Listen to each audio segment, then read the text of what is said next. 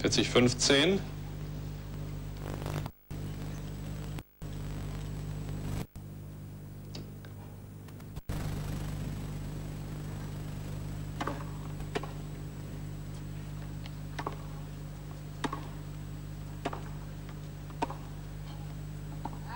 Game Sampras. Und Spiel Pete Sampras. Damit heißt es nur noch 4 zu 2 It's 4-2. In diesem vierten Satz. Sampras hat offensichtlich ein paar Probleme mit der Bespannung seines Schlägers. Schaden behoben. Neue Bälle. Hast du gesehen? So sah das aus. Noah zeigt es an.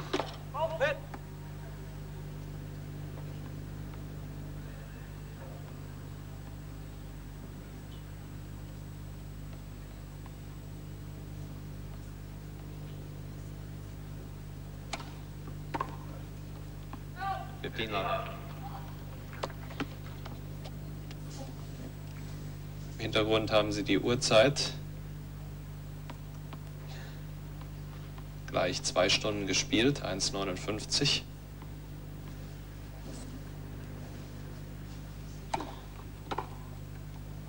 Der war aus.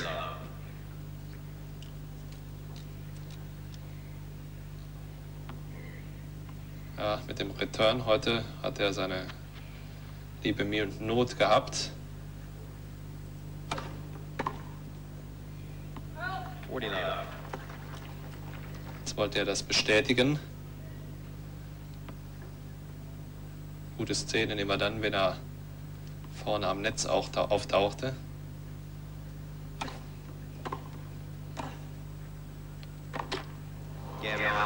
Spiel Noah, der drauf und dran ist, diese Partie hier langsam aber sicher zu beenden, der mit 5 zu 2 in Führung geht. Vorübergehend ein wenig durchhing im dritten Satz, aber jetzt wieder die alte Konzentration gefunden hat.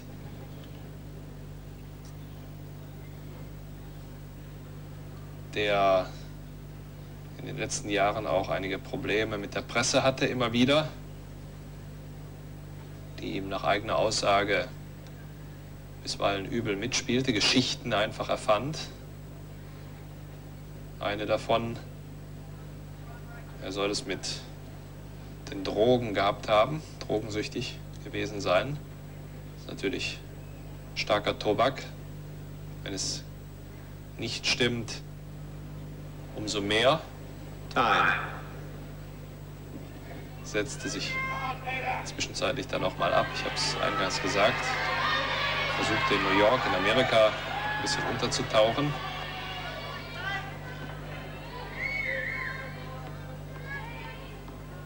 Fühlt sich oft missverstanden.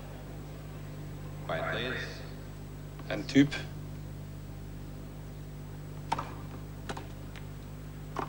mit einer Einstellung, mit 15 love. Gedanken zum Tennis, zum Leben, wie etwa Mats Wielander.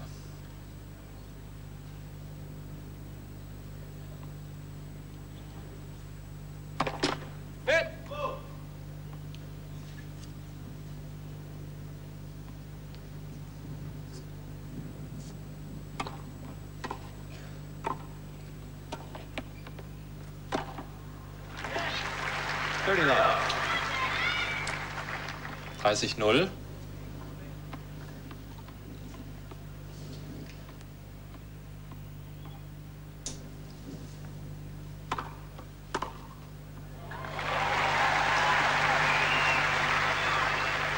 Thirty fifteen.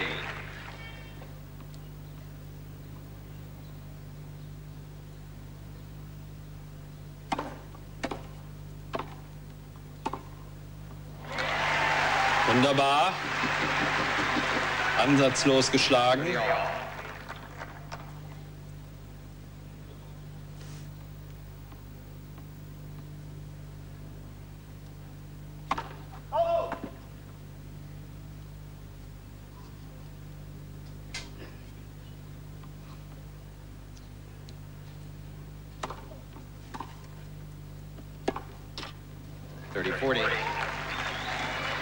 Matchball für Yannick Noah.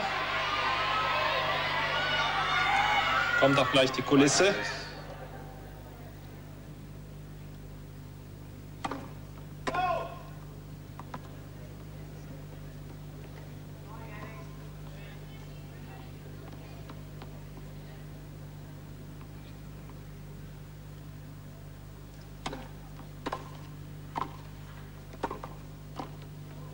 Ist aus. Yannick Noah reißt die Arme hoch. Er gewinnt dieses Spiel, dieses Match, diese Begegnung gegen den Amerikaner Pete Sampras. Doch am Ende locker, leicht, mit einem kleinen Durchhänger 6-2. im dritten Satz in vier Sätzen mit 6-3, 6-4, 3-6 und 6 zu 3. Hat sich damit fürs Viertelfinale qualifiziert. Das soll es hier vom Platz 1 gewesen sein. Zurück ins Studio zu meinem Kollegen Uli Potowski. Soweit das Spiel.